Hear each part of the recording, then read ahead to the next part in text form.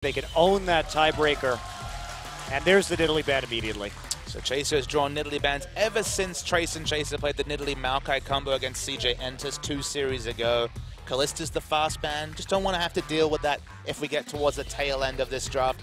Ryze actually banned on the blue side, so not a Marin champion. I just want to take it off the table despite the fact that Trace really been defaulting to the likes of Rumble Maokai, who so far have made it through the, the bans. What's interesting about that, for me, as we see Rek'Sai taken away from Chaser, is that I see Marin playing Ryze in solo queue quite frequently, and he has for a long time, yet SKT has not been a team to prioritize that pick. I mean, to the, to the extent of banning it on blue side, right? If you ban it on the blue side, you're not even considering it as a champion in the rotation. Gragas is banned away, so the Rumble versus Maokai matchup certainly looms large as we expected the target bans to come through. And so far, the only targets set by SKT have been against the jungler. And Bengi, not the big Gragas player, you have to think. Where is Chase? Bengi always makes the weirdest faces in the booth. So Evelynn, first pick. So we don't have the natural Rek'Sai counterplay with the Tremor Sense. Will we see Chaser go to another early presence jungler to try and balance out, or are Jin Air confident enough to pick strong lanes and try and baby Chaser through on the likes of a Sejuani? No. Uh, that was one of the big problems when Cinderhulk came into play, is that Jin Air played very poorly with Sejuani. Sure. So I think this is a calculated draft from SK Telecom. So where does Chaser go then? Because to match pressure with an Evelynn, there's a very limited pool of junglers that can do that. Yeah, well, we're not going to find out this round. Rumble and Annie, the likely grabs for Jin Air. They haven't been forced out of their comfort zone. You were saying, and I agree, that Che has been powerful on those pick supports. He's going to get one. Trace is just going to play Rumble one more time, his bread and butter this season. And bang, probably going to take Corki, honestly. Corki Maokai, very safe, very SK Telecom picks. And Maokai, naturally over the course of this season, has been edging out Rumble in terms of the 1v1 matchup. We've seen Maokai maintain an average 20 CS advantage in that particular matchup. So I guess we shouldn't be surprised that Rumble versus Maokai is where we go with the top lane. Now we're waiting to see where the draft goes. We've got support and top lane accounted for. What did Jin Air want to lock now as we see GBM flash the Master Yi? Why not? If anybody was going to be pulling off those kind of shenanigans, you see GBM having a laugh in the booth, it would be GBM. And uh, just as a reminder, over their careers, and this is a very interesting statistic about SK Telecom, these this Corki and this Maokai, Bang is 20 and 1 all time on Corki. And Marin is 18 and 1 all time on Maokai. These are picks that SK Telecom performs with day in, day out, and there is Chasers Rengar. This, oh my, I am very worried. I really don't like Rengar. Look, we've seen Fizz jungle this season. You don't like that. We've seen a lot of things that they're trying to put out early pressure, but maybe going too far. Rengar, at least, is prototypically a jungler, but this is a big risk and a big gambit when SKT have already chosen fairly safe lanes. They'd only selected the Corki and Maokai so far, but not eminently gankable lanes for a Rengar. Okay, well, what this says, though, and we could very well see, Lulu is actually a very good mid lane choice uh, for Jin Air in this particular situation because that is going to be going hard into a pick comp, a mid game pick comp. Jin Air has to get those kills and make a huge, huge snowball in the mid game. Uh, it'll depend, I suppose, on which mid laner they pick, but they're pretty committed to this at this stage. Faker would be bold, I think, to pick the Viktor into this, but Faker doesn't care. Viktor is the selection. Faker wants to keep that undefeated streak alive, and it will be a Cassio lock. And Cassio insta-locked by GBM. It did cry out for a Lulu, but it would have been certainly on the lower damage front of team comps. Now goes for the Cassiopeia, opting into this lane matchup that we've kind of go, seen go either way, but certainly one that the Cassiopeia was winning quite landslidely when Goong was playing it last series. I'm shocked to report this, but Rengar is actually 2 and 1 this season in Champions. Uh, it's been KT with the victories on it. Do you remember one of those games that went over an hour and was very high hijinksy? Yeah, it was. Um, they didn't win because of the Rengar. I will No. say that. I I know Rengar can create big snowballs, but it's high high risk. So Jin Air, they want to make this work. Um, I'm actually a bit surprised they didn't take the Lulu because early last season they played a lot of Lulu Rengar, Jin Air did, and they used it with the speed boost to get picks very effectively. And uh, it's a composition, the Lulu Sivir, that's worked for them before, but instead going to put in a little bit of scaling here. Faker's positioning will be paramount because Jin Air has a ton of threat on to Viktor. And we wondered where the aggression would come from the jungle. It looked like the Lee Sin was going to be flashed by Chaser. Look, you get more information about Evelynn's positioning when you pop the thrill of the hunt, but feast or famine, that's what's coming from the jungle.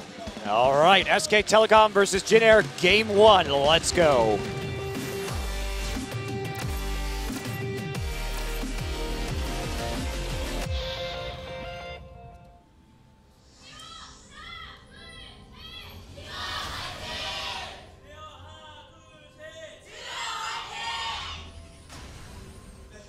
Number one versus number two here in Champions Korea will be SK Telecom T1 versus the Jin Air Green Wings. Jin Air picking a risky pick composition. They've got great chase down, they've got great skirmish. But if SKT manages to group in the late game, that could be it for them. The tankiness is rather oppressive from SK Telecom's side, and Faker wants to keep his unbeaten streak on Viktor alive. That would be a nice, nice feather in his cap in this game. A lot of weight of numbers on the side of SKT. You're talking about the win rate from Bang. Even just this season, 6-0, it's loomed as a very comfortable pick. Played three out of his four last games, so has been defaulting his way to the Corki.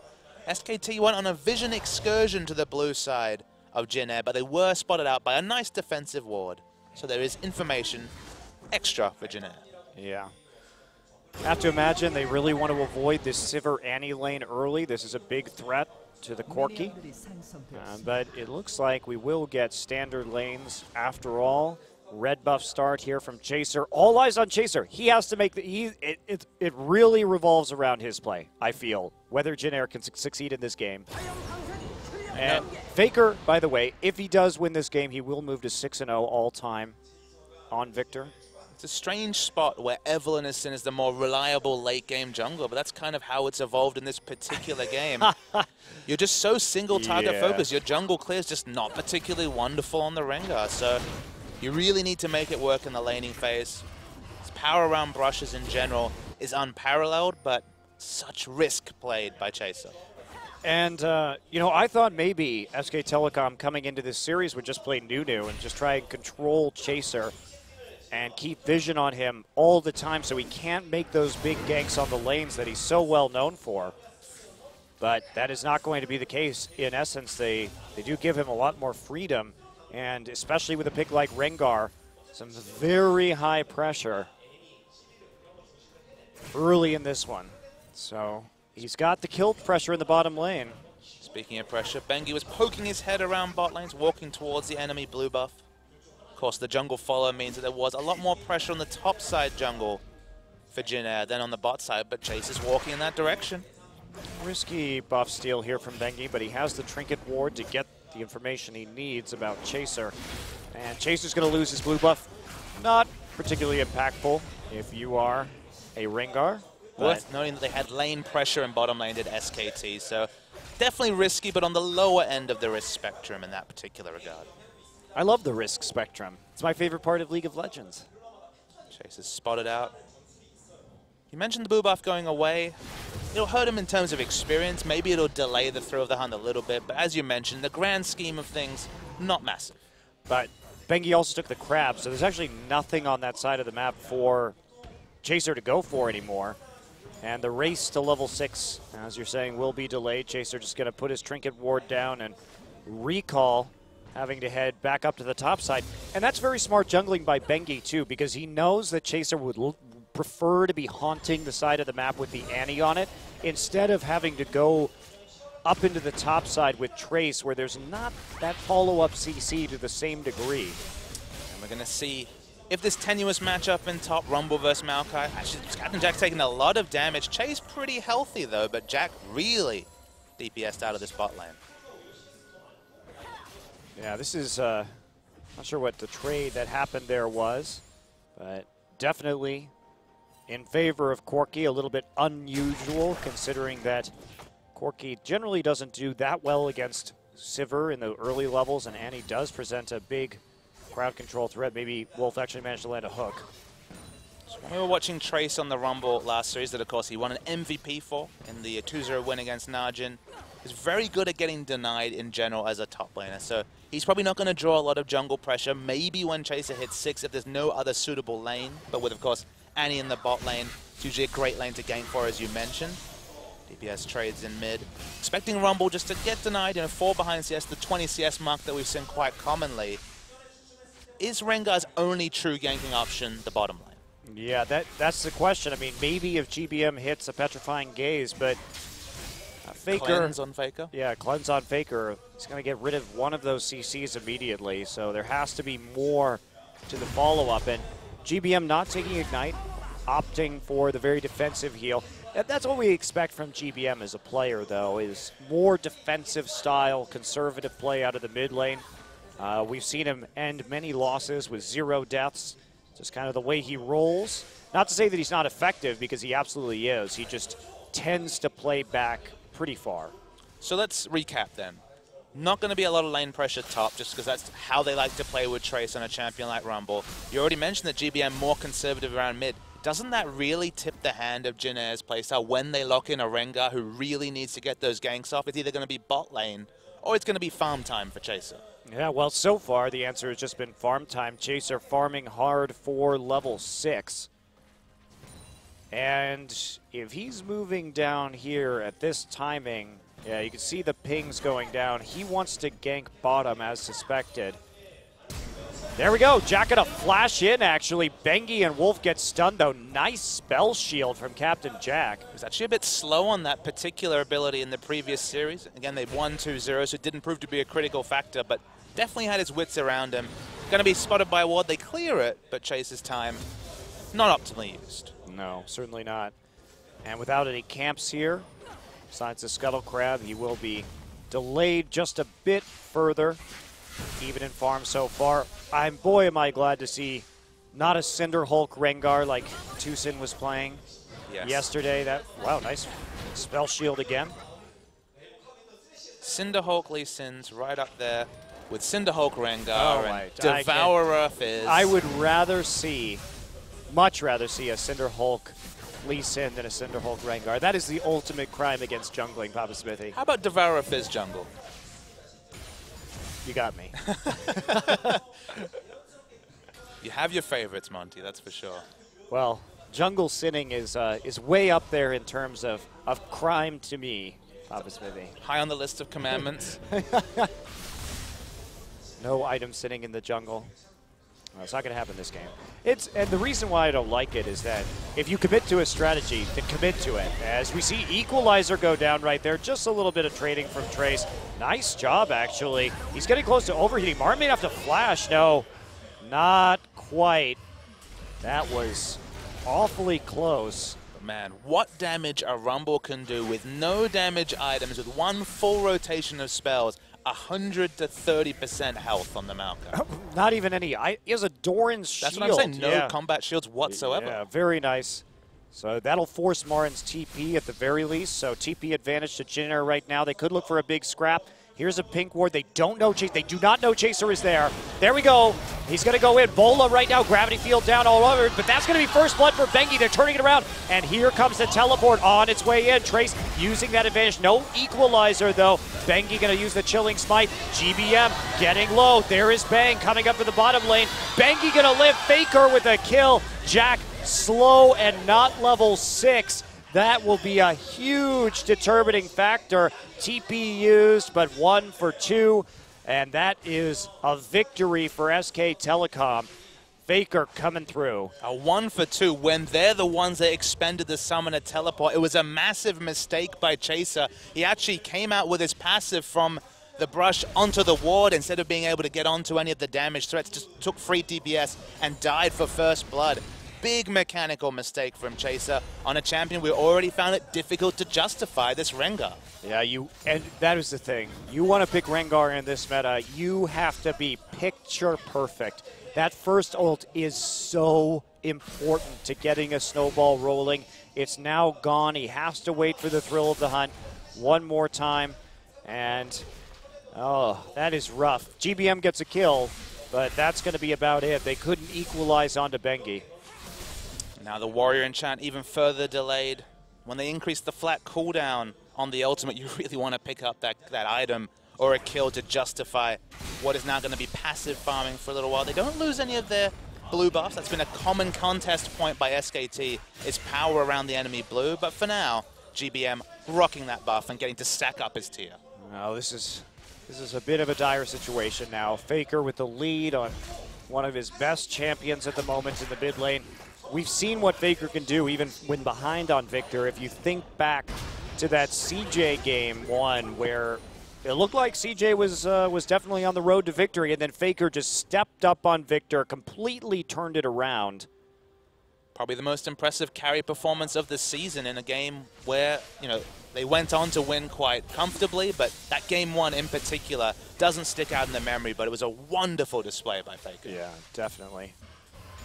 So, Trace on the top side. Went for, went for Merc Treads first. That's a, that's a bit curious. Lost a lot of respect to the CC and damage combos coming through from Evelynn and Maokai. Of course, it'll scale well. Maybe he's just looking for the fast home guard boots for some fighting around the Dragon, but it's a lot of money spent on your first pair of boots. I, I do think that that actually is smart. You going for home guard first when you're so focused on the early and mid game can be wise. They're going to try and gank him, but Chaser's here. So is Annie. SKT doesn't know. Great equalizer. And can they lock down Marin? Marin is going to go down on a Chaser. He picks up the kill by popping his ultimate. Marin actually trades one for one in a 2v3 so Jin Air makes the aggressive move, but once again, this Rengar can't quite close the deal. Yeah, twice punished for making the aggressive move. It's an excellent bait. They've done this twice in a row. Cleared a ward, baited in and engaged. They're just using more resources and only trading evenly, which is why you see the gold lead to SKT far more than just the one kill they are in the advantage. Well, not even trading evenly. Last time they actually fell behind a kill on that engage. Uh, with the boots of mobility on Chaser, he has he's zero, two, and two. You cannot be there. So SKT, they have comfort picks. They have picks with huge, huge wins. Marin's Maokai, Bang's Corki, all-time greats on these champions, and now you're behind. Not much more to say about that. Chaser really needs to make something special happen with his third activation to throw the hunt. Their smart skirmishes is just they got the instant kill onto Annie, then he re-engaged and effectively handed a kill on a silver platter to Maokai just because there aren't the base stats there to be scrapping extensively as Rengar. At the same time, you, you do have to be a little greedy if you're Jin Air and you want to play this composition. Uh, if you just let Maokai go and you get one kill, is that really enough for Jin Air at this point in time? I'm not sure the answer is yes. I'm sure you take a minor win, but you have to snowball crazily right now, or else Rengar is just not going to do anything in the late game. I guess worth noting to me that Che was up top, and despite that, Captain Jack's still almost dead even in CS. They weren't losing much despite rotating Annie. SKT, with all the pressure of the last few skirmishes, picks up the first drag. And they had TP advantage. Trace still waiting on his. Faker is Nicely chunked out that mid lane. Faker going for Morellonomicon. Faker, of course, likes to get that early Lich Bane for kiting when he can. Instead, chooses to get the second upgrade on his Hex Core. Already got quite a lot of mobility, so the kiting is definitely a factor once you get the 30% movement speed on every gravity transfer Q. Trace working towards an Abyssal Scepter, so not committing to the home guard boots just yet. Getting as much laning stats as possible, and of course, the Abyssal Scepter is going to be very relevant, but will they be having two of them given that GBM's already built a Negatron? Well, it certainly it certainly will. It's uh, it's power transfer, not gravity transfer. That would My be bad. that would be uh, you know you get to get jump higher when he uses it or something like that. That's fair. And there we go. Fail ult from Chaser. Great, just timing on the back from Marin. Didn't know that Rengar was there, but had a sense. He's like, well, screw this. I'm just going to go for Gromp instead. Okay, goodbye, mid lane. Faker not getting the solo kills this game, but pushing GBM out of lane, picking up the turret very early at 14 minutes, solo taking down a turret. suddenly there's safe, there's less safe places for Cassiopeia to farm, and Cassio's an eminently gankable jungler. Sure, it's not Jarvan gankling the Cassio, but if she ever pushes up down a long lane, intense kill pressure onto mid. We talked about this with Jin Air, these weird picks that they have. So you're not feeling the Rengar. not feeling the Rengar. It's just with Jin Air, it seems they lack confidence in themselves sometimes where they, they feel like they have to have these these counter picks or these surprising strategies, but it's been when they just play meta that I think Jin Air has looked their best. They've looked their smartest and and strongest. So why it, it's almost like intimidation causes them to pick champions like Yasuo or Rengar that don't necessarily have the same strategic flexibility as, as standard meta compositions. And we're really seeing that here. And uh, you can't really make any bones about it. They may only be 2K behind, and under a lot of circumstances, you say, well, this, this game is it's probably pretty likely you can come back for this. Well, it really is not. With this composition, it's very unlikely that Jin Air is going to be able to engineer a big comeback unless SKT chooses to be caught out in picks around crucial objective timings, and that's really not not something SKT does. If Chaser and GBM can be some sort of assassin duo onto Faker. Because, of course, you can do some pretty creative engages with the thrill of the hunt.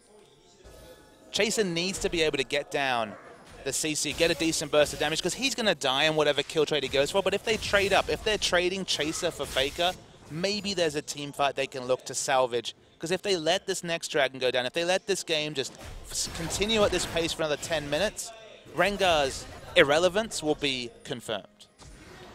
Well, I'm not sure entirely that it hasn't been confirmed already. Bang's entering his power spike. The Trinity Force. as we speak, 1-0 to Dragons already for SK Telecom. Jin Air with no early game objectives. They've also lost that mid lane turret. So it's going about as badly as it can. As you mentioned, two Abyssal Scepters already completed. Suddenly, the power that you get from completing the recipe. Look, there might be some sort of divided fight where both Che and uh, one of the selfish users like Trace or GBM will get the aura, but it's certainly not ideal use of resources when you're already behind in gold. Dark times. Well, SKT still just playing patiently. All they have to do is wait. All they have to do is wait. Speaking of waiting, Chase is not clearing any camps. He's sticking around bottom lane, already a level behind Bengi. Looking for this optimistic pick, but SKT, they just push waves and back away, and there's just no space for Chase to get in. They're going to try again, though. Here we go. Sivir ult has to be popped. There's the Flash Tibbers. There is the lockdown. Bang falls. But what can they take off of this? Dragon still a minute and a half away. Only a single minion. They're just going to run at the turret with Tibbers. They do not have the damage to take that out. They definitely do not. We can see Nautilus walking towards bottom. Are they going to hard commit to try and take this turret? No, Faker is even going to relieve pressure and walk straight down the river. He knows exactly what he's doing. He's ensuring they lose no objective despite committing multiple ultimates and two flashes to kill Bang. Yeah, huge cost to that with not really much in return. Sure, they got the kill, but that isn't worth very much right now with their current deficit and the fact that they're not going to be able to take a, a dragon off of it. They're not going to be able to even take a turret. You can see Faker just pushing up mid lane, then coming bot lane and doing the same, ensuring that Jin Air just has nothing at all. So the big issue is that GBM has no lane pressure whatsoever in mid. Because his turret was taken down so early, he's basically been backing or sitting under his inner turret, allowing Faker free roam to walk around, pick up buffs, respond to aggression. GBM just cannot force any aggression in mid because there's a lot of pick pressure. There's Marin who can come in with a targeted CC. Cassiopeia is a lane-dominating champion, but when the laning phase has effectively ended so early when she's lost her turret, she's kind of stuck in this position where she needs to push if she's going to farm, and then she just lacks any control. Yeah, and she, she just can't push right now, uh, especially with all the lack of wards in their own jungle. You can see SK Telecom just lighting up that bottom side of Jin Air. Another turret. And look at the lane assignments from SKT as well. Faker goes bottom. Then we just see Bang respawn, push the mid lane. They have total control. World's easiest dragon. With the amount of vision they have, there's literally no risk of even a flank, given they have three pink wards committed to defensively around their red side jungle. SKT, picture perfect League of Legends. Yeah, the warding too. Look at how deep they are. These very deep wards in the bottom side ensure that there's like zero chance of a surprise Rengar because they will see him before he ults. A lot even without the pink ward. Yeah, this is very respectful warding. Usually you'd see some of the wards in a little bit further, a little bit tighter to the dragon, but not in this case. It's unique champions who have those really rapid gank paths, the likes of Rengar, Rammus back when he was in the meta, you would go for those deeper wards. So still respecting Chaser even though he's effectively an alt stun bot with his E and then will die inevitably in any sort of AoE trade. Captain Jack in the unenviable position of sitting and farming next to his tier 2 while Faker starts to move in on the enemy jungle. He feels very safe as well he should. Lichbane? He probably should go Lichbane here because of the speed and engage. He, he has to have that speed to kite. And nope, Going to be actually a needlessly large rod, so straight AP. Bit bold, bit bold. Surprising given how the game's evolved, especially given his lane assignment has been the bottom lane and they've set up so many defensive vision. Lichbane really jumped out as the obvious itemization, but again, more burst focus, more instant wave clear focus does SKT rotate with Bang on this Trinity Force power spike. And what's Trace to do? Well, there, there are in terms of his itemization. Ooh, Chaser going to come in, gets Wolf with the root, and there's the Tibbers follow-up. Can they get the kill? Nice root onto Bengi as well. Really good play from Jin Air. They want to go bold. They're all grouped together, but they can only get one kill at the end of the day. And here comes Faker. More turret pressure with this Viktor. And how many times have we seen Faker playing aggressively, just autoing turrets in the mid game on this Viktor? He's so confident in his abilities in a 1v1 that he plays quite boldly. GBM wants to get an angle. He's going to lose the tower, though, has to dodge the death ray. Faker, gravity field, goes in with the Chaos Storm. Trace is there, too. Faker still playing in this lane, not afraid. Wow. He has so much information about what's below him on the blue side jungle and enough information about the top side that this is what opens up Faker to play this game. It's almost like he's playing basketball with his own ball, just doing whatever he wants, and there's nothing GBM or Jin Air can do to stop him. Well, they're 4K gold down with the Rengar now. The, the hopes of winning this game have long since dwindled in the distance, barring some sort of massive disaster and meltdown from SK Telecom. And when they're playing this tight, doesn't seem that you can really bank on that one. So when you have an aggressive playstyle like Faker, always had that aggressive streak ever since his first series, and the excellent warding of his team, 70 CS advantage odd in the mid lane, taking solo taking both the outer and the inner turrets. And now he's just going off on his merry split push way. Split push Viktor, it's a new one. Well, that's how Faker plays it, honestly. That's how we've seen him play it. He's not just content with dominating his lane and playing very far forward. He constantly push, puts that tower pressure down. We've seen him 1v3 people and still auto attack turrets, and everyone is so afraid of Faker's Viktor that they can't get him off objectives. He plays this champion different than anyone else I have seen play it especially given that you know the innate kit doesn't really necessarily lend itself towards split pushing. Good duelist, good at zoning under turrets, for example, putting down the gravity field and then having a Trinity Force Corki auto attack. But when it comes to split push, isn't the most escapable champion. It's the reason that people opt into Assassins against Viktor. But when you have your team playing around, when you have that aggression, the results, they're impressive to see. Yeah, and it's not only that he yes, he is vulnerable to those all-ins, but Faker in these all-ins frequently just outplays people. So he'll always, it seems, trade evenly with the victor, if not kill two people for the one.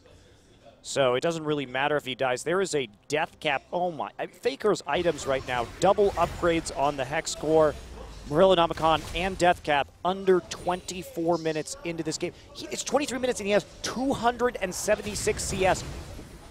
What? So I'm just wondering, which of these particular metrics do you want to focus on? It's 24 minutes, and he's got 280 CS. He's got about 500 AP. He's got more than 20 AP uh, per minute. He's uh, all of the particular metrics. He is just blowing away. I, I mean that that's le- that level of CS in the current meta. When we used to see a lot more mid laners in season two farming the jungle, farming the wraiths over and over, you could hit numbers like that much easier. Hitting it now, that that's unbelievable. The unique thing about Viktor, one of the reasons why he's suited to this split push role, the line wave clear means that he walks up to a minion wave and before it even meets another one, instant clears it. And of course, when you're averaging 20 AP a minute, very easy to instant clear those waves. But all these things add together. It's why his playstyle evolves this way, is that he understands so well his damage output, his split push potential, where the wards are around the, the map, and where he can defensively move to if he is ganked. Once again, thrill of the hunt used onto a very tanky Marin. Yeah, Marin, is he actually going to die here? There's the second route. There we see the Tibbers, and looks like Marin will die to the gank, but every time they do that, they give up something else. This time it's going to be a dragon. In the end, it will be kill and a turret for a dragon. That's about all Jin Air can do right now. You have to say, but that's third dragon of the game already for SK Telecom. That is a very good trade as they power into the late game. Yeah, the gold still stays very competitive, but the objectives really start to win. That's actually the ultimate used onto Trace, but he can get away. Yeah, does flash though. Does flash for it. They want GBM Bengi around the side. There's the ultimate Agony's Embrace, forces the flash. Tried to be cute, tried to bait out the ultimate, but GBM wasn't having any of it. More CS for Faker. Thank you, Che. 350 gold with the Tibbers. As Faker comes up.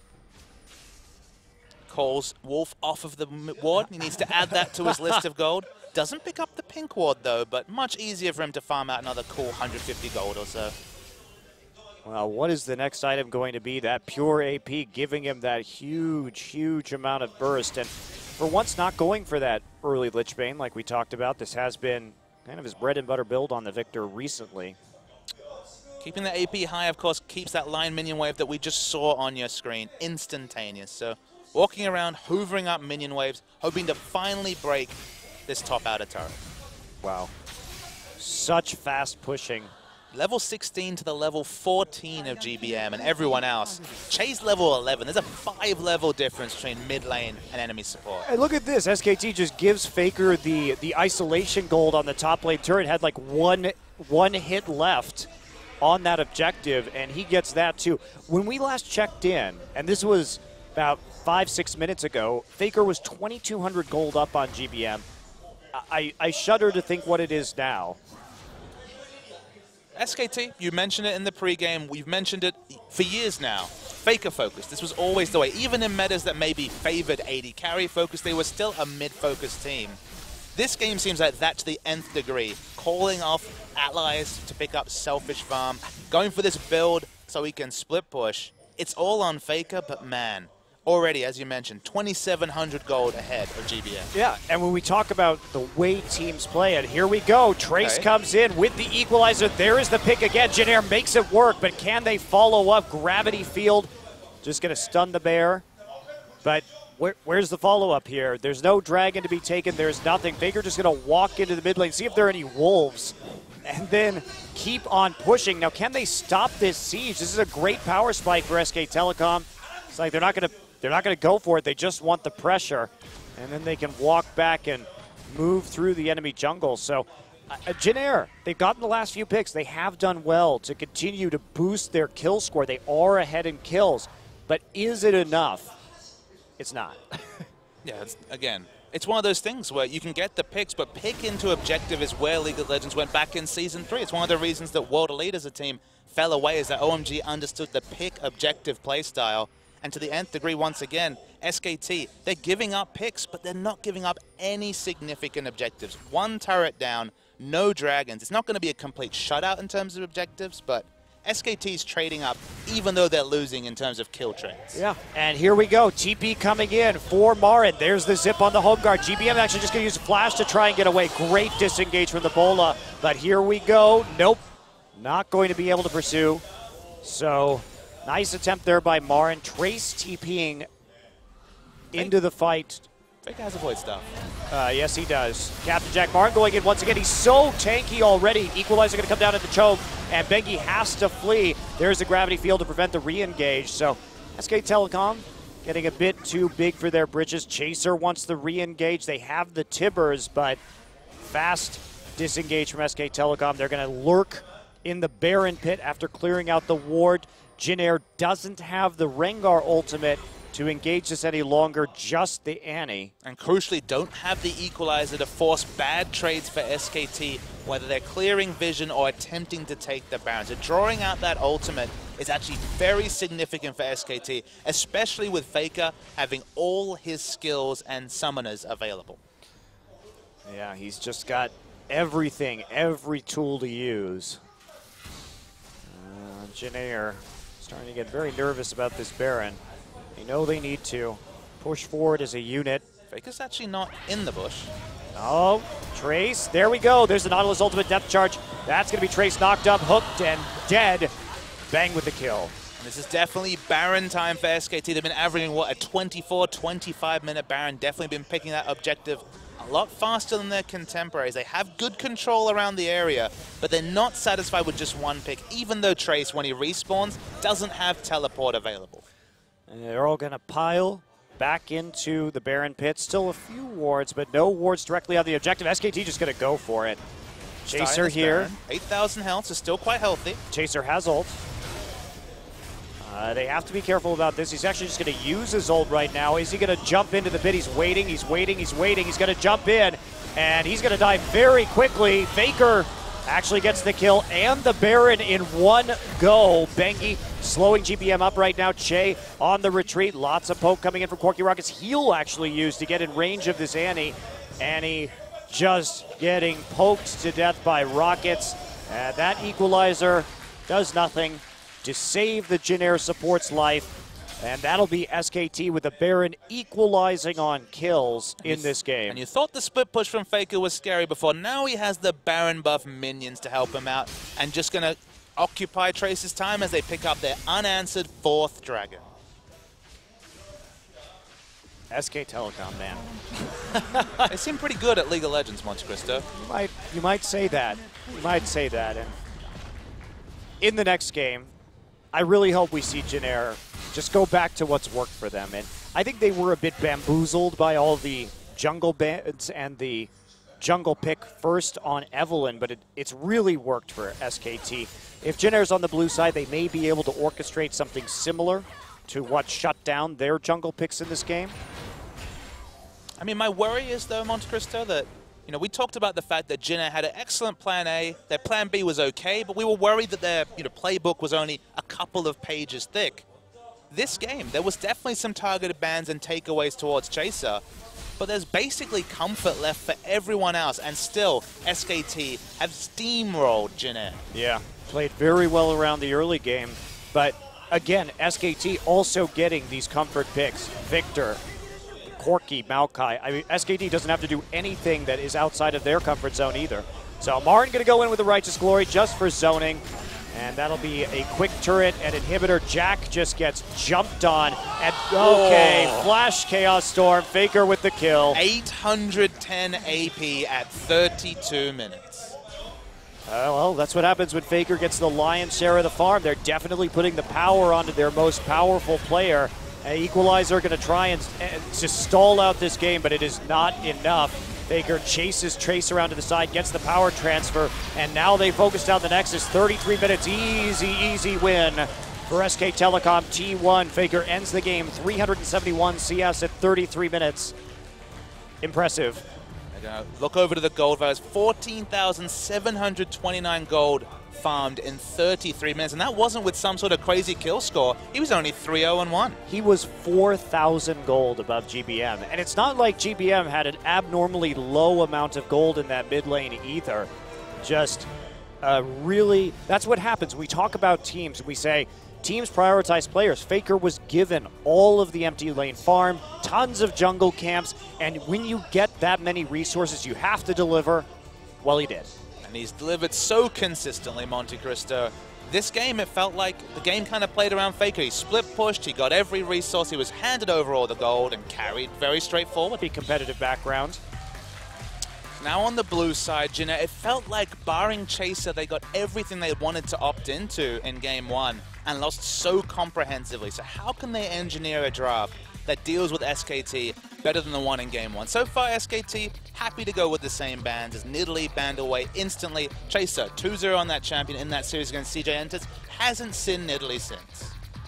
So, speaking of bans that were in the draft last time, there is the Viktor. I think you have to take that away. Now, the Kalista comes through. Last ban, will it be the Ryze? Of course, SKT banning Ryze on the blue side, not wanting to first pick it. You just know if they get Trace onto Ryze, they're going to go with the Rumble, I think, for Marin and try and play around the Ryze as much as possible. That was how we saw success found two days ago as Najin were happy to let KT pick up the Ryze and then just played around it, rotated around it, and never reached that late game power spike where Ryze was relevant. Alistar's the last ban on the blue side. The big question, will SKT ban the Ryze or leave it up? Yeah, the Ryze, but also remember, Rek'Sai, they didn't want Chaser to be on probably his best champion in the last game. They could go that route again and force the Ryze or the Gragas, of course. Again, Marin has played the Ryze time and time again, and I think the Rek'Sai, the smarter choice. You want to take out Chaser's best champion, and now the Ryze is yours if you want it. It's not like Gragas falls a long way behind. Chaser hasn't got his hand on Gragas very often. 2-0, 11.7 KDA going to give up the Ryze if Marin wants it. And that's a big if. We're not sure if they're going to prioritize this champion, even though we're still on patch 5.11 and he's still really powerful. And super strong, of course. Uh, they would have to play, especially Bengi, more around Marin to keep him safe and maybe pick up some early kills in this next game.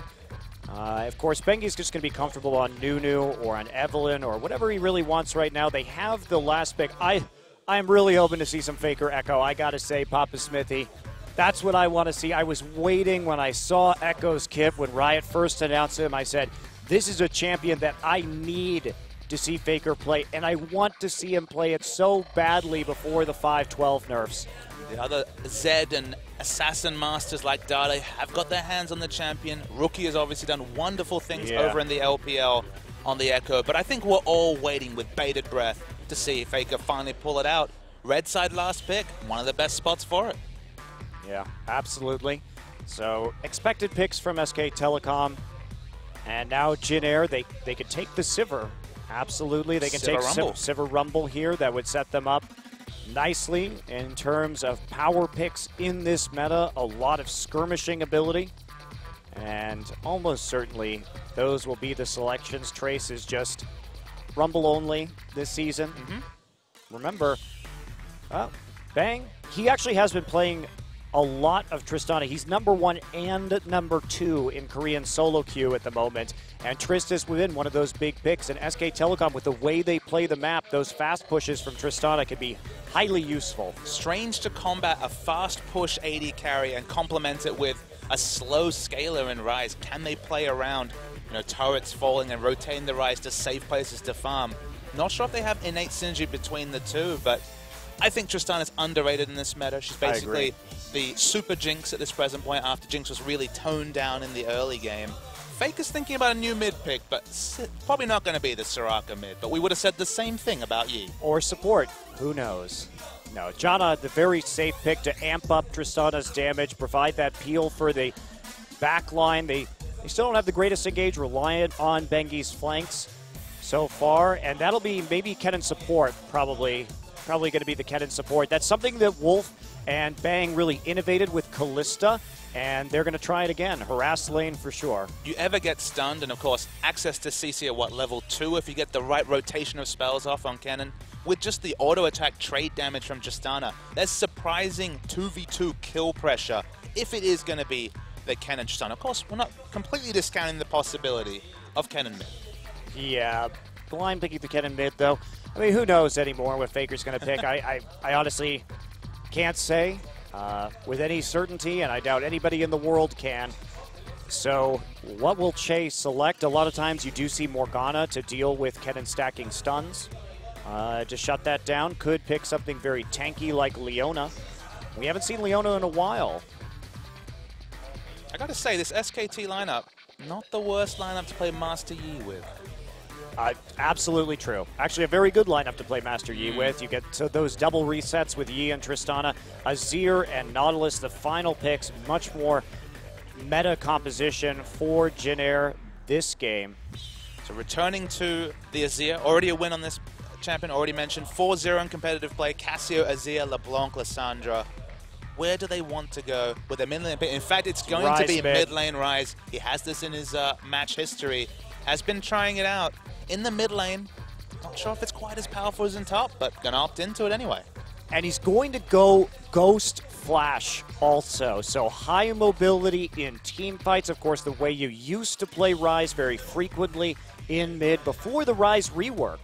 And I'm curious how Faker's going to do on this champion, especially against Azir, who has that large amount of poke in the early game. Faker going to have to play a bit more passively here. Marin uh, once more onto the Maokai. He's now 19 and 1 in his career on that pickup. eminently gankable lane Ryze in terms of both ganking him with his low base stats and ganking for him with his instant cast CC. That's one thing that wasn't changed in the big Ryze rework. Eve does good early damage.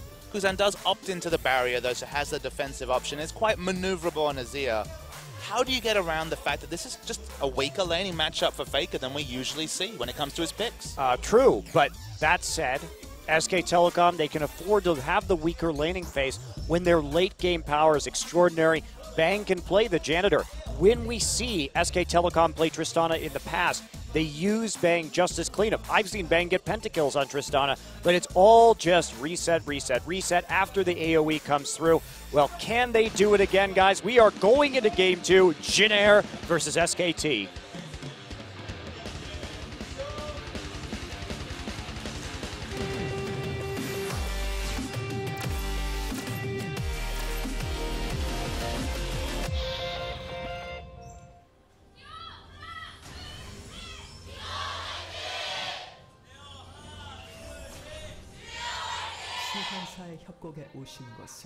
This is the last, potentially, I should say, last game of the first round robin this season, and we're going to take a look at our Korean casters right there, of course. Caster Jun, Kim Dong Jun, and Cloud Templar. And now Jin Air. They have the, they have a chance to take this to three games. Certainly, they have a very good composition to do so. But should they lose, it will mean that SK Telecom has 2-0'd every other team in the top six, and that is a level of dominance in this league that is, frankly, shocking. Only dropping a single game to Samsung and Anarchist. We see some damage trading. There's actually multiple members from SKT. Uh-oh. Remember, Faker Rune can Prison. still Rune Prison at any time. Uses the Rune Prison. Chaser opens up a lot of distance. They can commit double flash here. Does Bengi have the damage? The Qs come through. One more Q auto will do it. The auto attack comes through, and SKT get first blood. And that's the guy you want to shut down on Jin Air. Bengi with the first blood advantage now. He can chase around Chaser in his own jungle if he wants to with the extra gold. He's just going to go straight for the long sword. Chaser caught out early on the invade, and Faker doesn't even have to blow a summoner to get the rune prison. He does have to start W, but that's not going to be the worst thing in the universe. Certainly not. The way this draft changed with the last pick, Maokai warps things. So we were talking about the fact that fast push with Ryze top didn't really seem like it makes sense. If they go for the fast push and it ends up isolating mid, whether that was from a lane swap that obviously hasn't happened, or just trying to push down turrets quickly, if that just isolates Faker to farm, things are going to be great for SKT. Yeah. Kuzan just walked up right there. The W. Not too much effect that's having. And I'm a bit surprised to see Wolf back on the support Kennen. Now, it's something that SKT did innovate, and we saw the Kennen uh, Kalista lanes in a bunch of other regions after they got it. Bengi looking for a level 2 gank. He knows he has the damage right now. Faker still with two summoners. He's just going to go. Kuzan burning, burning, burning. Lower, lower, lower. Faker probably could have gotten that if he had flashed. Yeah, the flash trade was obviously what Kuzan was looking to opt into, but so risky when the burst damage and almost 100% chance of hitting the following Q in an auto attack. Yeah. Still, that risk pays off. Doesn't have to use a summoner. And walks back to lane. Yeah, and he does have the cleanse too, so he probably could have gotten out of that. It's true, um, but yeah, that's that's a nice little free farm there for Faker. Bengi now going for his blue buff after a jaunt through the mid lane. So much lane presence coming through from Ken and Tristana. Both these targets free auto someone and hit their spells. We're talking about stuns, talking about massive burst damage coming through from the explosive shot. Really have to be on your toes against Kennen's support because he just has so much more ranged auto attack presence compared to a lot. Chase going to take a nice burst of damage after opting into it with the dredge line. Yeah, and th- that's the scary thing, like you're saying. If that stun goes down, it really just loads up the damage on the explosive shot. I'm really liking the concept behind this lane. Very powerful, for sure. Ah, man. Kuzan already on his back foot. Faker just wanting to get some wards down. Going for a nice walk. A little stroll. Stroll in the river. He went on plenty of those in the previous game. What's he doing? He's going to cue this. Are they actually going to dive this? He's going to get seen. Uh, of course, Rumble vulnerable, and the wave is there, but the ward also detecting Faker. Actually, a really good ward coming through. Very nice defensive ward. Chase is going to be called over. Faker's going to be back. Backing, he probably has gold for that tear. Yeah. No, doesn't even have gold for the tear. That's awkward for Faker. Yeah, definitely not the best back timing. He's going to lose a few minions on the turret. As a result of that move, they wanted to shut down Trace, but Jin with the smart ward there, thinking that they might dive Trace quickly in this game, and uh, that's actually a very weird ward for Jin to have, especially against Evelynn, because it's not even on any of their camps. So that basically says that they think that either Wolf or Faker was going to be in the jungle for that dive.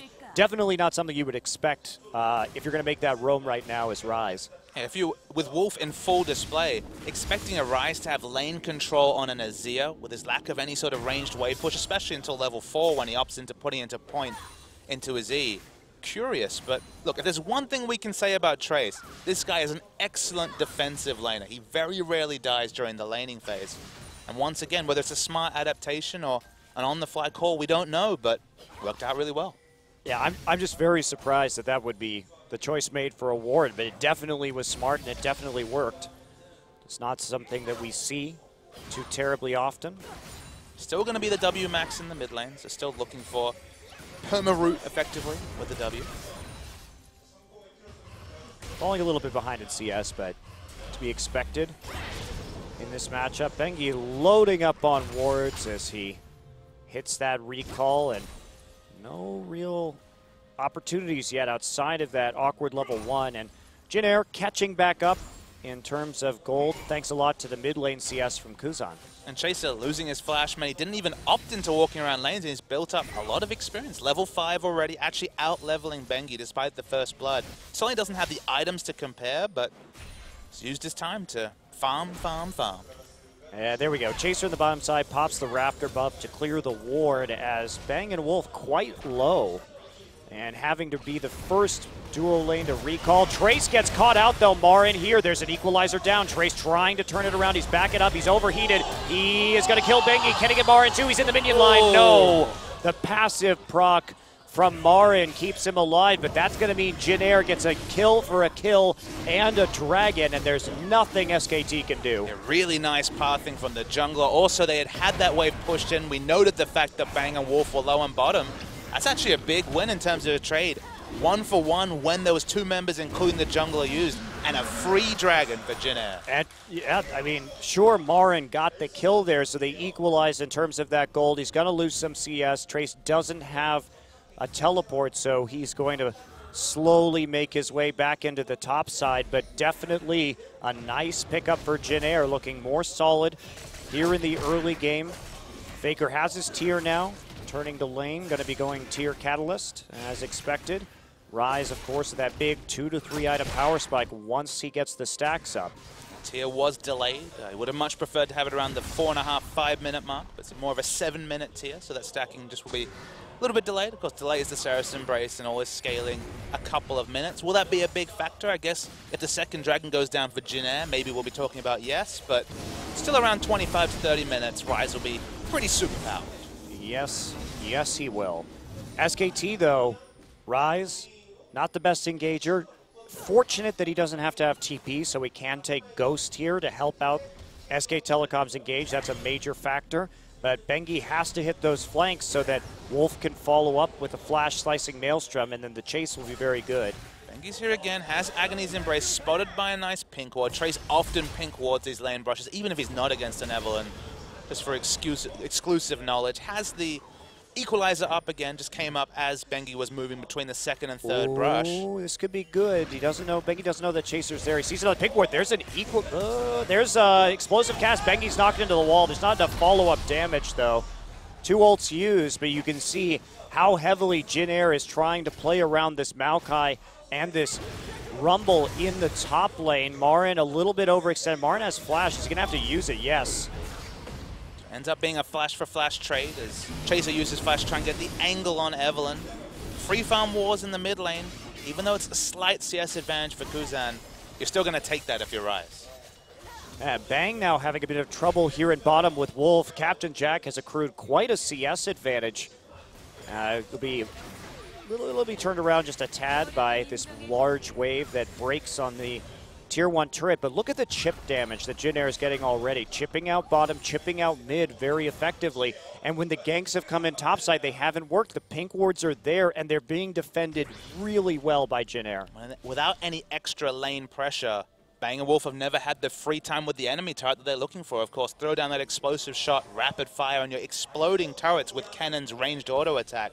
But defensively, Kennen pre-level 6 doesn't really offer very much for his carriers. Jin Air have rotated so many members around Marin. And Marin, a bit toast right now, pops the ultimate. Trace comes up to the turret. No equalizer available, remember. Kuzan going to use the ultimate right there, but actually has to flash back out. Awkward, and Faker now ghosting, ghosting up in top. He's stacked up, he's stacked up. Chaser going to be the first target. There's just Rune Prison spam, and there is death for Chaser as SK Telecom turns around the gank not enough in terms of ultimates in top lane to commit to that. Kuzan's I'm not sure what happened with Kuzan's ultimate right there because it didn't push Marin away. We'll have to see a replay. You can, of course, Twisted Advance through such So maybe that was just a skillful play. Trace layers down the equalizer, looking for the turret dive onto him. Faker actually just following through. Flash. There's a Rune Prison. There's a dead Trace. He keeps on going. He keeps on going. There's Q, Q, Q. And the W double kill for Faker already with a beautiful dive. Bang has to flash out of a hook, but that is not going to be a favorable trade for Jin Air. And we talked about Kuzan. He likes to roam. He likes to make these plays. But there simply wasn't enough damage to take down Maokai. And while top lane Ryze is eminently kiteable with the Ghost, he was just able to hit those extra spell rotations, get that last Rune Prison in, and make a massive play. Now Trace is teleported in. Smart. He knows Bengi's in the area. Can Bengi get away? Bengi on a secret mission, trying to escape. They find him. He is dead to rights here. Maybe he can suicide into a turret. They want to give this kill to Trace, and there is the chilling smite. But they're oh, he hasn't actually taken any damage at all. This is very awkward. No, he, he, got hit by a chilling smite. That's true. But he's still soup. I thought he did. No, he chilling smited the Gragas. Ah, Didn't take ah. any damage at all, and hence the awkward nature uh, of his death. Uh, that was a teleport burn for that. Definitely not an optimal use of that summoner spell. Well, this is awkward. Faker is 3-0 and 1, his same score as last game in total, except he's Ryze, and it's 12 minutes into this game. Kuzan just going to bring it back around. Chaser's here. Can they kill Faker? Wolf also He's going to have to back off of that one. Will he get hooked? Yes, he will. Actually, Jin Air going to turn this into a couple. Kuzan with the pickup. Hard to say why Wolfizzer didn't even have Slicing Maelstrom available. Had already used it previously. Still level 6, though. Kuzan with the Azir Sec play gets that kill onto Faker. At least something cause of optimism in the mid lane. And they get the turret. So Faker goes down, gives up a lot of gold with that shutdown. Crucially, MonteCristo, taking down GBM's turret at what, 14 minutes into game one? GBM was a non-factor and Faker played smartly around that. Kuzan this time takes down Faker's turret early. Ryze not known for his counter pushing, so they can try and exert control. They certainly got the wave control on bottom, as they're even just choosing to leave this turret up and force Bang to continue what has been a horror laning phase for him. Well, they want to just build up a wave to push through right now so that they can get the dragon right as it spawns. Kuzan had time to shop.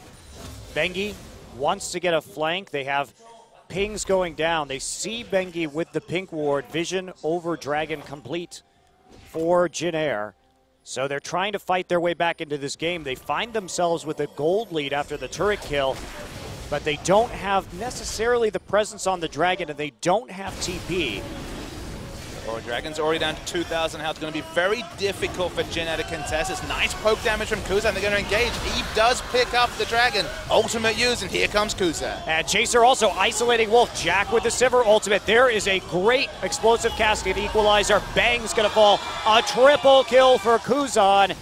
And that is a powered up Azir. Now for Jin Air, how can they fast push this? Trace still on the hunt, going to actually flash.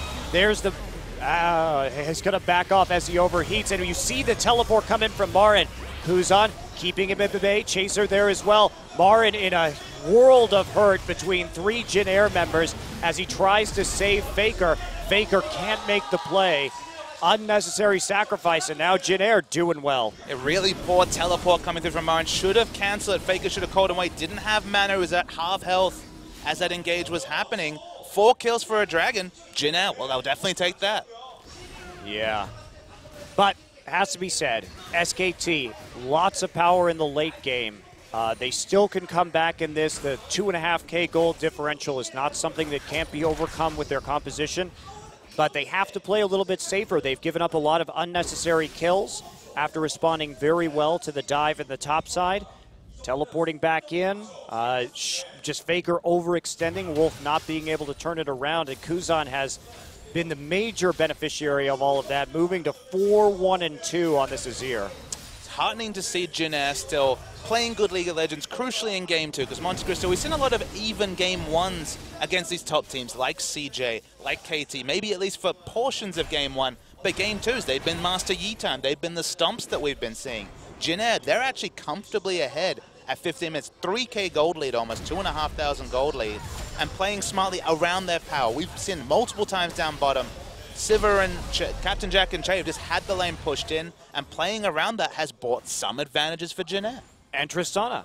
Uh, in terms of advantages on the other side for SKT, where is the fast push? Maybe it's going to come in now. Maybe they can trade tier one for tier one. They will be able to look at that damage. Just haven't had the free time. This lane has been torn apart by the Sivir Nautilus duo. And these are the two champions that uh, have been playing so regularly. These are the sort of champions we thought would be targeted by bans by SKT. But left open, you can see the power of Captain Jack and Che. And it's crucial that when this duo came into the lineup, that's when fortune started to change for Jin Uh, that's annoying. Marin going to go in. Wolf there with the follow-up. Faker starting to move up into the top side. Jin Air wants to back off. They will do so with a flash and an on the hunt. Uh, Trace actually canceled his TP. Okay. So draw out that TP summoner. He'll have to walk over for the next dragon because he will not have the summoner available. So Jin Air right now, mm -hmm. they've got to do the fast push. There's very little wave clear on SK Telecom. Uh, Faker going to have to get pretty close and pop his ultimate if he wants to do that. Of course, Maokai not going to offer much, and Tristana does need some time and some auto attacks to clear waves with the explosive shot.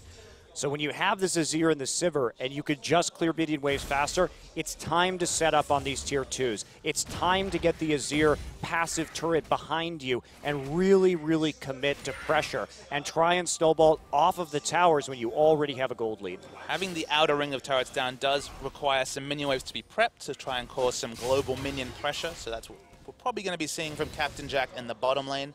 Faker's rotated himself to pick up the farm, because of course he did. We saw the previous game. It's what he loves to do. But yeah, if they can prep some minion waves, they have very good turret damage. They don't necessarily have a lot of range, though.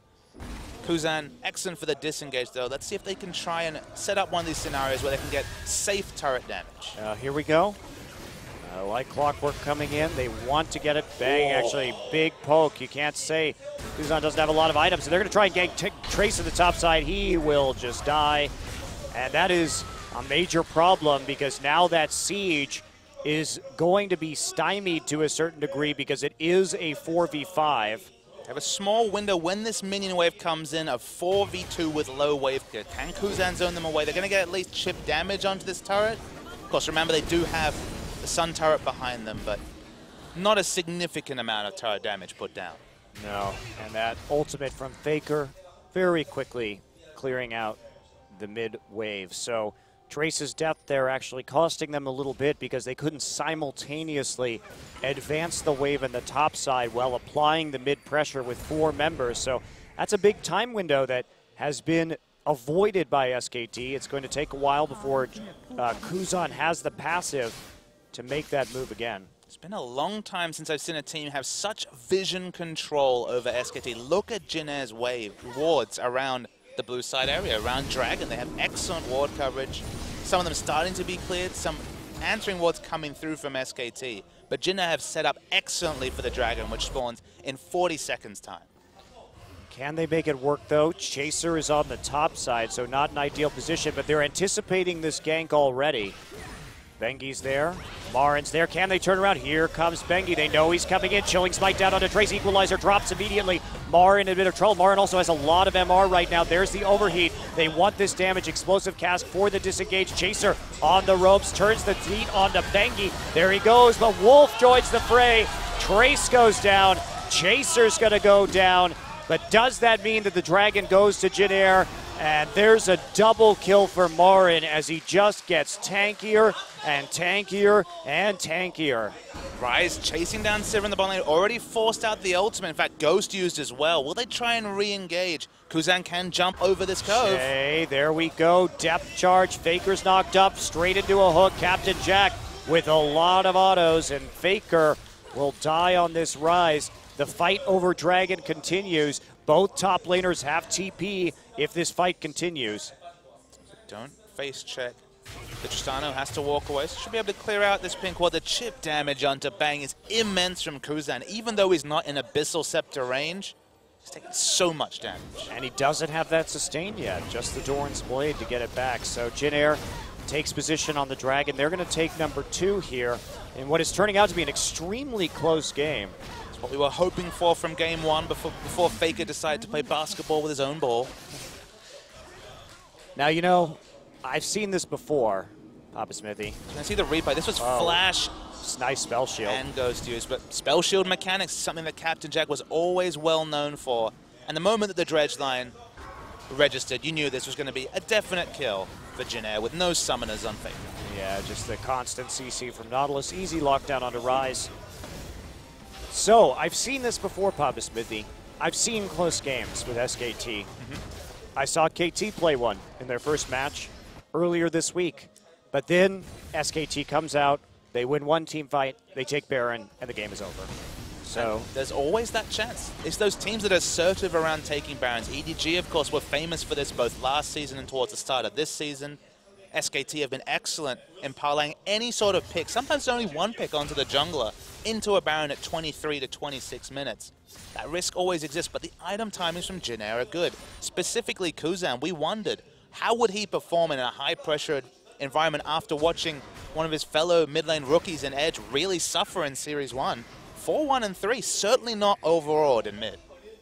yeah. Well, think you're going to find Chaser here as some deep wards are placed by Jin Air. They can't clear the pink, though. Trace playing very far back, trying to get that farm up. He's had a rough time this game, has had to go just for a full Magic Pen build because of Marin's early cowl, which actually, that early cowl was turned around a lot with Chaser and Rumble on the Gragas, or the Gragas and Rumble tag teaming on these ganks. And now we see this again. Teleport's coming in actually behind. No, cancelled by the Maokai. Okay, that's teleport cancelled by both top lanes.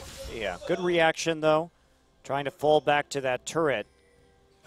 So the pressure will continue. This is Jin Air's chance to shine. They need a larger gold lead to combat SK Telecom in the late game, that is for sure. The efficiency of the voice up is actually looking wonderful given that Lockett multiple magic resist. I believe it's both a Negatron cloak on Faker and Yep. magic resist stacking on Marin's actually a very good item. Bengi's caught trying to do some sort of flash. flank. And he's overheated. That Agony's Embrace has to be used. That is a key engage tool missing now from SKT. Yeah, Bang tried to walk up and use the ultimate to maybe save the Agony's Embrace. Okay, the Sun turret runs out. Crucial that Equalizer is still available for Air. I wish we had seen this Jin Air last game, Papa Smithy. The one that we know is measured, has good shot calling, that doesn't have to rely on these wacky picks because when we see them play meta, they're so good.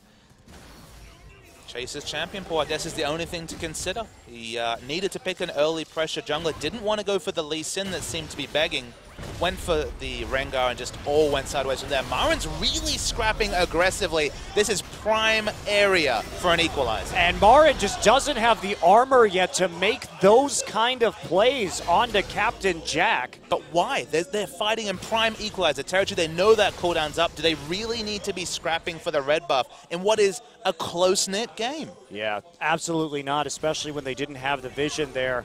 Uh, Che was the one who actually managed to get the red buff in the end, but that denial definitely not worth it. They're going to lose a tier two. 100%. Jay can just walk up and tank it. Of course, the turret damage is good, if a bit risky, from 500 range from Captain Jack. Can't also turn this into another objective, but certainly in the ascendancy in game two, even at 24 minutes, are Jin Air Green. Yeah, they they have that edge for the moment. They're playing well in the lanes. SK Telecom needs to find a way back into this game.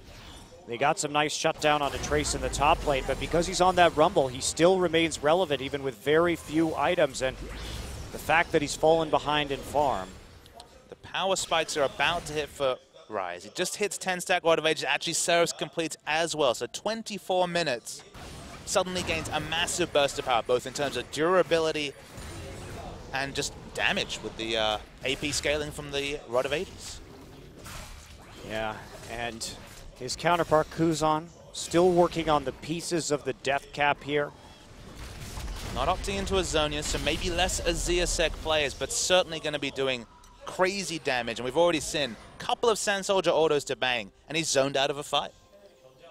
Bang's Tristana has not been quite as impressive as I had hoped it would be in terms of providing pressure on the map. Gotta say, Tristana as a pick, up there with Ekko, and on paper offering so much. You can even see as an analyst the win conditions where it would do so well. But when it comes to actually translating into champions' victories, few and far between.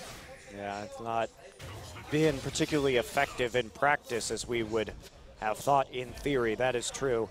Okay, so SKT gonna. Uh-oh. Oh, goodbye, Trace.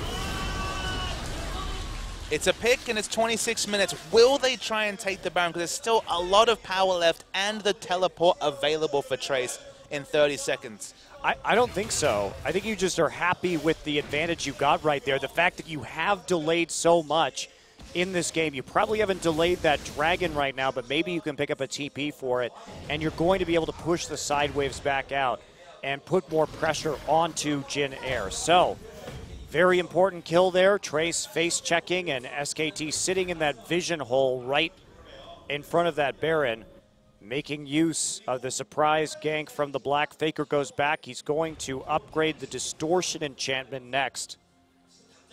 Ghost Flash going to be available that much more often. Crucially, doesn't have his Flash for another four minutes, so he's going to be catchable, but with all his durability, implied and otherwise, with both his passive and his Seraph's Embrace, still massively powerful. So, blue buff right before the fight for Faker.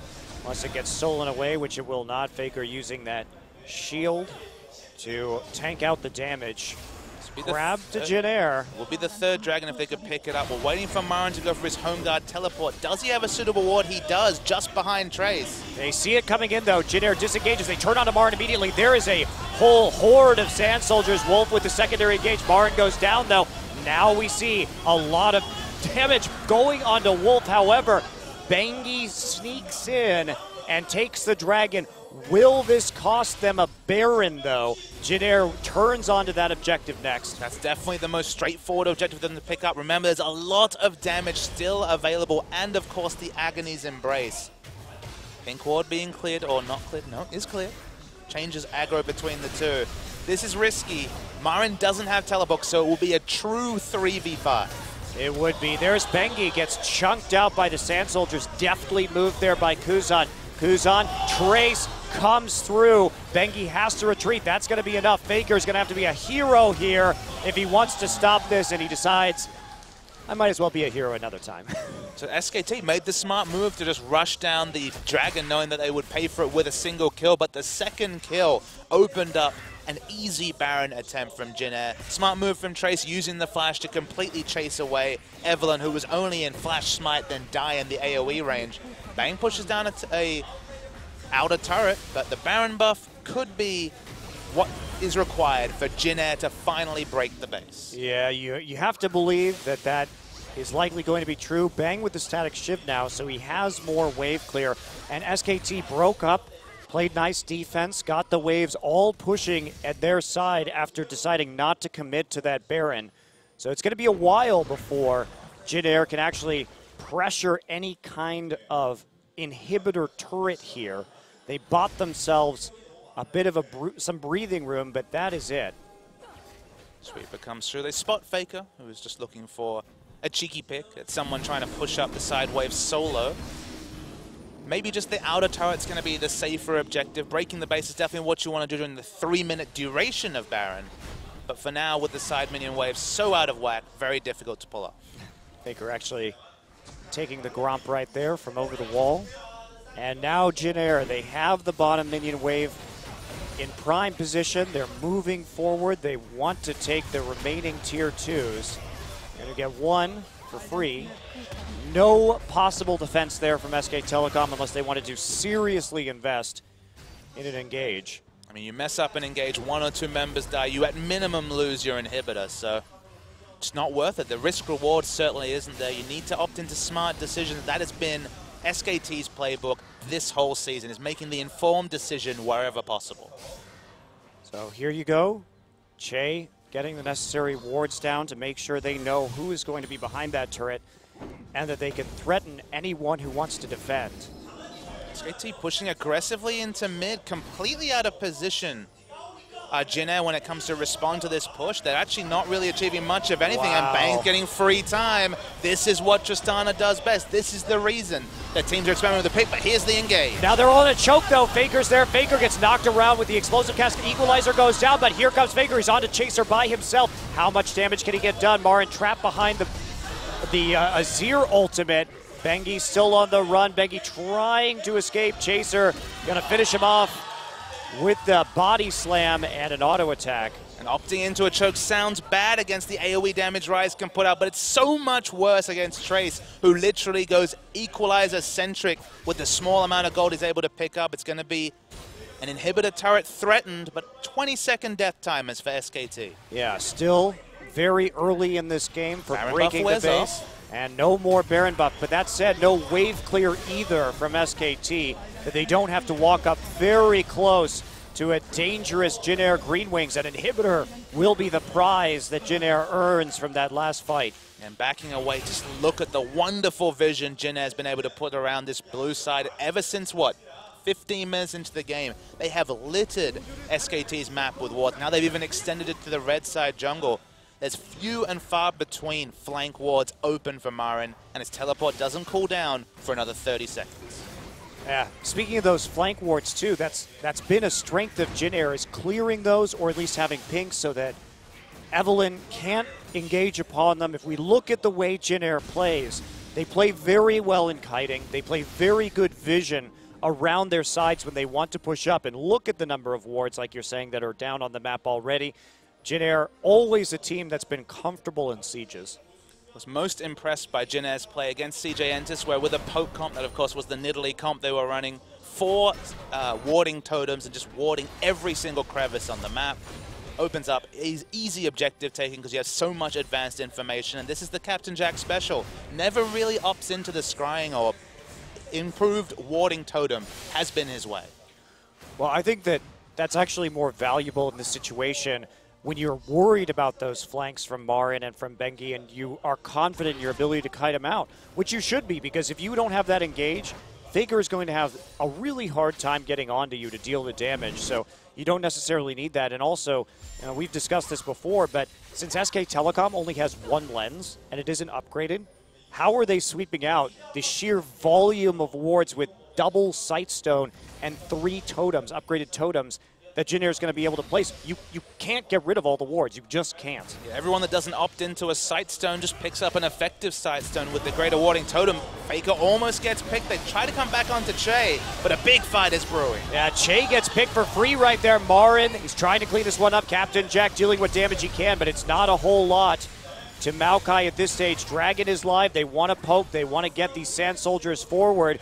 But SKT gets a very important fight. And there's the Agony's Embrace. They may have gone too far. Bengi trying to clean up Faker on the outside. Gets a room Prison on Trace. Equalizer's drop, but it's not doing much. Faker's just going to be able to clean this up. Faker is getting a huge AoE. Faker is going to get a triple kill as they turn it around. A perfect ace for SK Telecom. And now they're going just to chew through these turrets. Can they win the game with this Tristana? They're pushing against the super minions, but it might not matter. The Tristana does so much turret damage. Remember, explosive shot lowers the cooldown of the rapid fire, and then some 20 seconds on these death timers, and only Che to protect. And here we go. Che's going to do his best to keep them off the towers, but it's not much. They have the minion wave. This is going to be a win. All of a sudden for SK Telecom, there is nothing that they can do as Bengi kills Che. Four seconds left. Three, two, one. It is not enough. That is it. SK Telecom 2-0. What a comeback. SK Telecom pickpocket a win that Jin Air had right in front of their noses. Disgusting if you're a Jin Air fan. They had everything going for them. One pick onto Che, a little bit too aggressive with their positioning, and Faker wiped them to the floor. I can't believe it. I cannot believe it. Uh, SK Telecom goes undefeated in terms of best of threes. That is number 16 in a row. Back to back round robins from the second in spring to the first now. A tough loss for Jin Air. You can see they hung in there so long. They had the advantage. But SKT, a team that is so decisive, you make that one mistake, you go down that one time, and SKT punishes to the maximum possible degree. And the only teams to take away a win from SKT are teams that we don't even expect to be competing in the playoffs. It's only Anarchy and Samsung. SKT sweeping all the